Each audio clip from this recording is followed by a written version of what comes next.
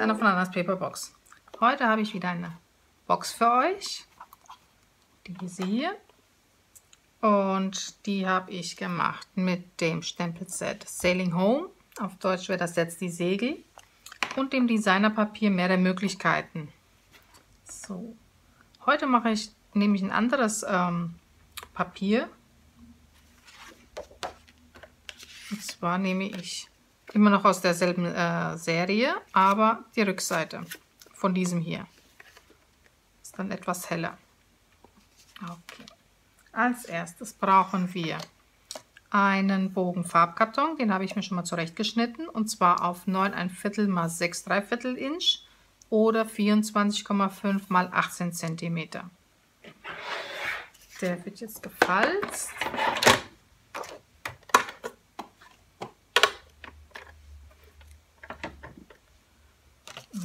An der langen Seite. Mit der Schneideklinge. Bei 2 ein Viertel Inch, 4,5, 6 3 Viertel,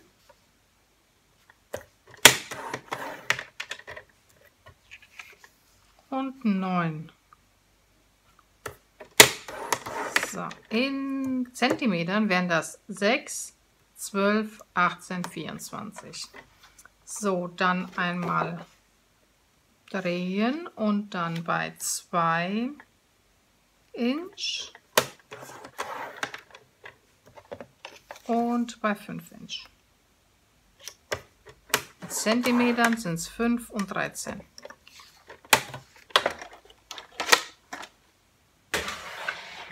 So. So, jetzt hoffe ich, dass man das sieht. Also hier unten, das Stück ist länger wie das hier.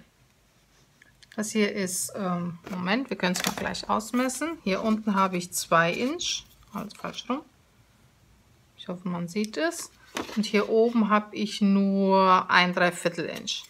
Also das breitere Stück ist der Boden. So. Hier schneiden wir schon mal ein. Und zwar einmal diese kleine, äh, schmale Lasche. Die kommt weg hier im Boden. Und die kommt auch oben weg. Es bleibt nur der mittlere Teil über. So, und jetzt hier wieder am Boden.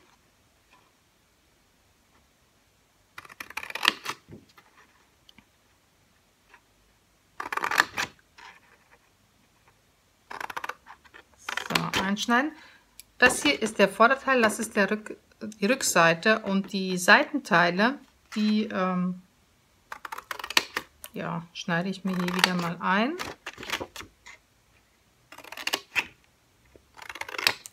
So. so, die andere Seite wird gerade geschnitten, einfach nur gerade durch.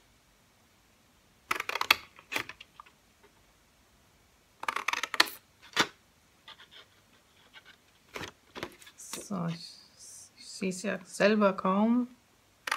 Okay. So, jetzt können wir auch schon falzen.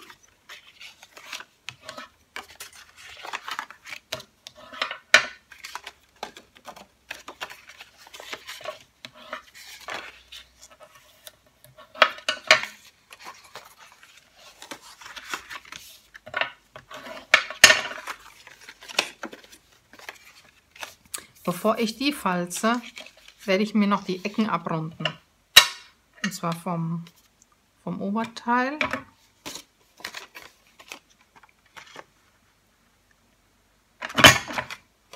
So, und hier nehme ich, ich knicke das einfach mal um.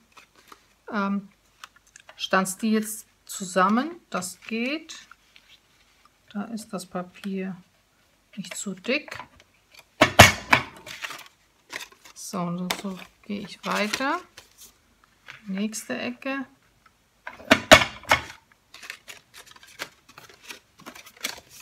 Die beiden.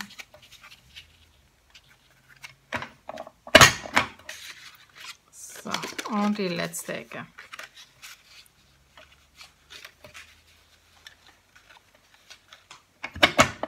Okay.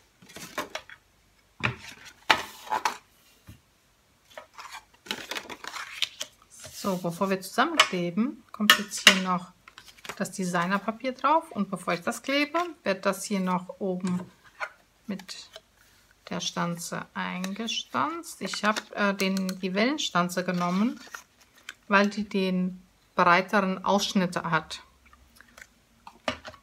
Kann man einfacher das Band durchfädeln. Die neue Stanze, die ist ähnlich, sag ich mal, aber die hat nur ein kleines Loch oben. Das war mir dann ein bisschen zu klein. So, einmal und zweimal.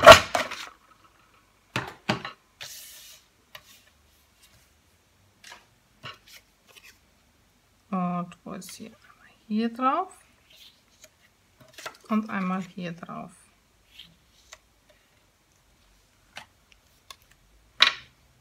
Ich schaue jetzt mal. Ich drehe mir das mal kurz um. Damit ich weiß, wie bis wohin ich Kleber machen soll, müsste ja ungefähr bis dahin. Sagen wir mal bis dahin.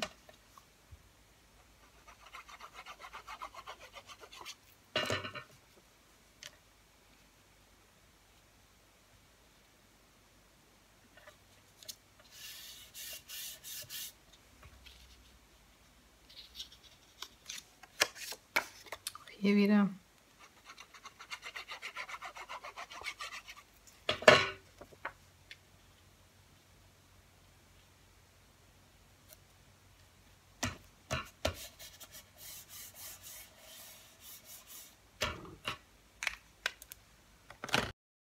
So, das ist jetzt geklebt. Ähm, der Schnelligkeit halber klebe ich die Box jetzt mit dem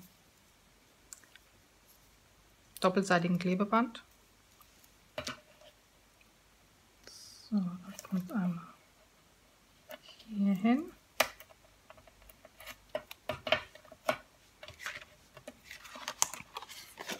Einmal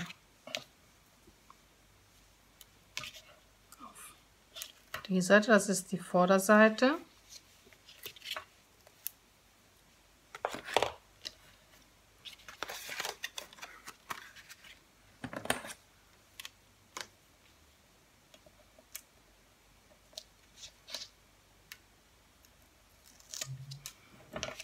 So, wenn dann ein bisschen übersteht, ich klick, knick mir das einfach zurück die Klebefläche, bleibt nichts über.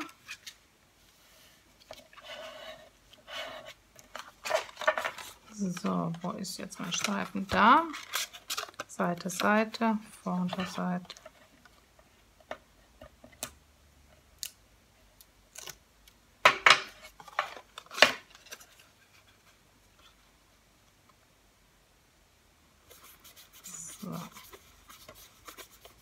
Da wir das ja ein bisschen kürzer ge geschnitten haben, ist es nicht deckend, aber für den Boden passt das schon, finde ich. So, jetzt die Seiten. Einmal die. Okay. Und dann die Oberseite. So. Ich habe die hier nicht eingeknickt, das äh, ist nat geht natürlich, sage ich mal, und das reicht mir dann. So, als nächstes das Band. Dafür habe ich das, äh, dieses Leinenband benutzt. Nutz, und das ist, gehört zu dem Kombi-Pack, und zwar, das äh, Dekoband im Kombi-Pack. Das habe ich benutzt einmal. So. Einmal hier oben durchfädeln.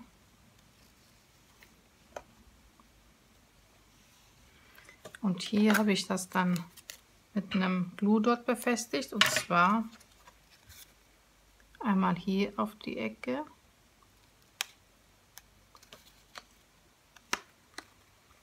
So, ich habe das dann hier an den Rand geschoben und festgeklebt.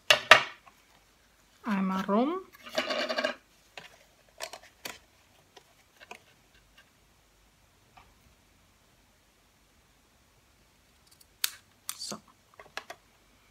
Hier wieder durchfädeln.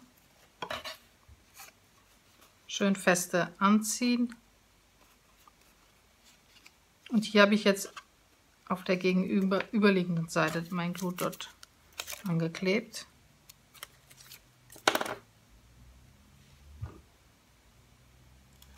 So. Dann habe ich nämlich hier schön viel Platz für die Schnur. So habe ich mir hier ein Stück abgeschnitten. Einmal hier durchgefädelt. Einmal da.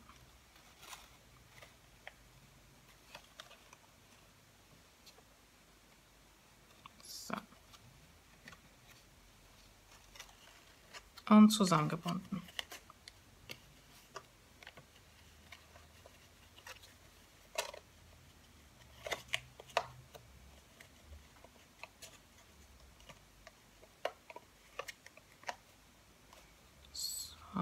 Und hier habe ich mir eine einfache Schleife reingemacht.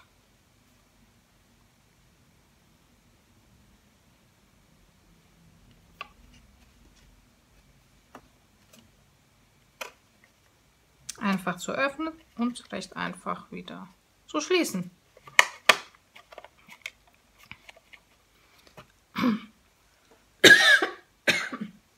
Sorry.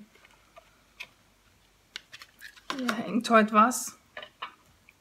Ähm, ja, als nächstes die Deko. Da habe ich einmal, mh, hm, jetzt hängt es wirklich. Hier ähm, die Metallaccessoires, Ahoi. Da gibt es einmal diese Steuerräder und die Anker. So, hier habe ich Steuerrad. Ja, ich bleibe beim Steuerrad. Und das habe ich auch wieder mit dem Glue Dot aufgeklebt. Und da ist einer.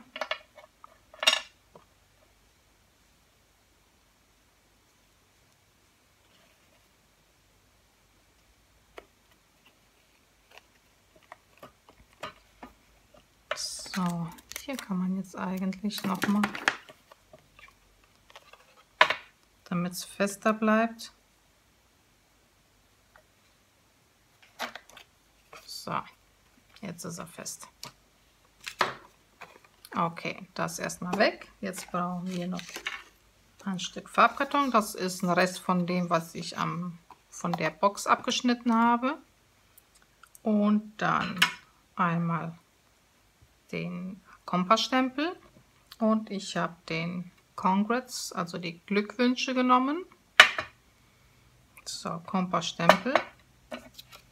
Also das Papier ist jetzt ehrlich gesagt egal wie groß es ist, weil es wird eh gleich klein geschnitten. So, und ich habe jetzt hier ähm, Crumb Cake, Savanne.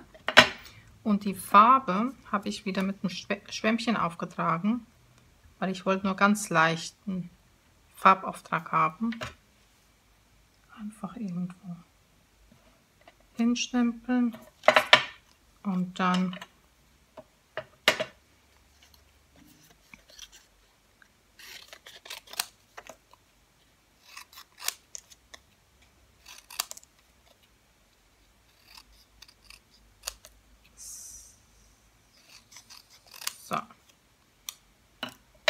Ne, gefällt mir nicht ganz. Wartet, Moment.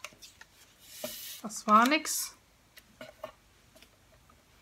Habe ich zu viel abgeschnitten. Aber ich bleibe hier bei dem. So.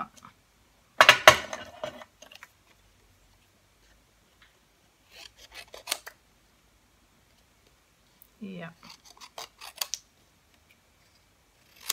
Jetzt schon eher. Jetzt hier schneide ich mir noch mal so ein Stück raus.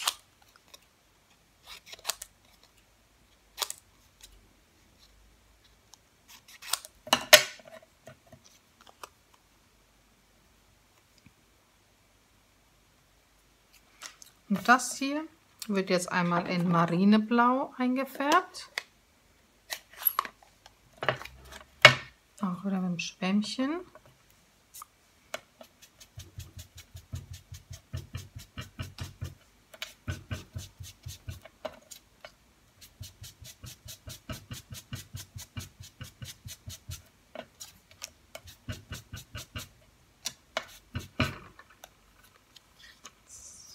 Dann brauche ich noch mal eins in so, das bleibt jetzt erstmal.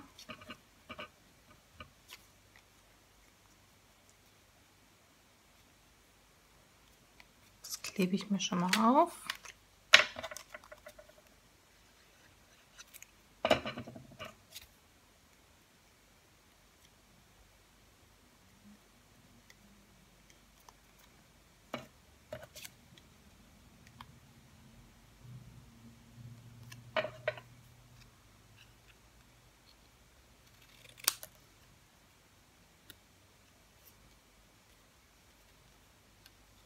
kann man sich dann...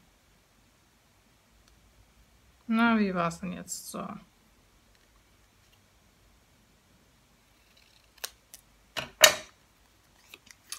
Das hier wird in Savanne eingefärbt.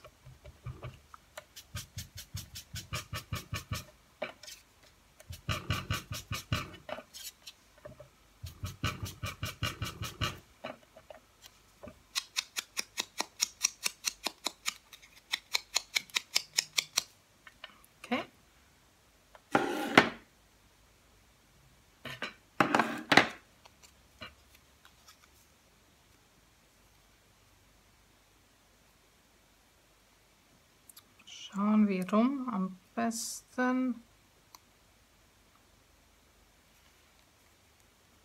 Na.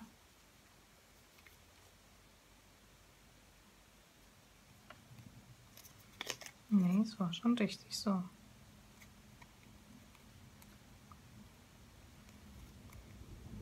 Ich krieg's heute noch. So,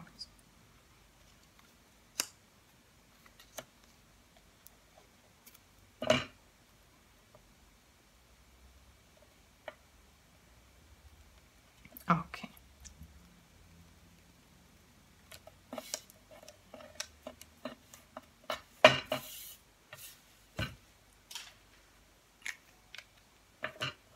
Hier können wir jetzt, ups, den Glückwunsch in Marineblau habe ich den.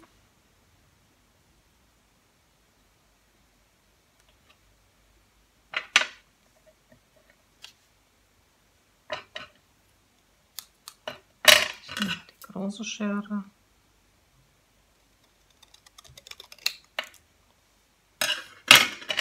So. Fähnchen schneiden.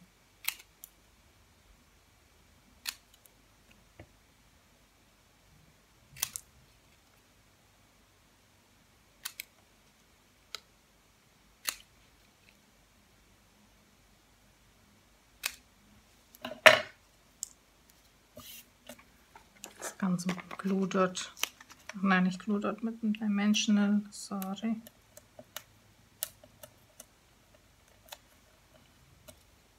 Auf den Kompass drauf. Andersrum.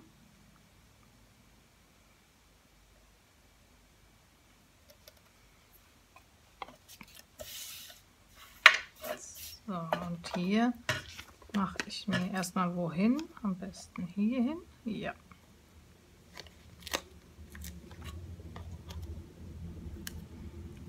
Und links noch mal welche.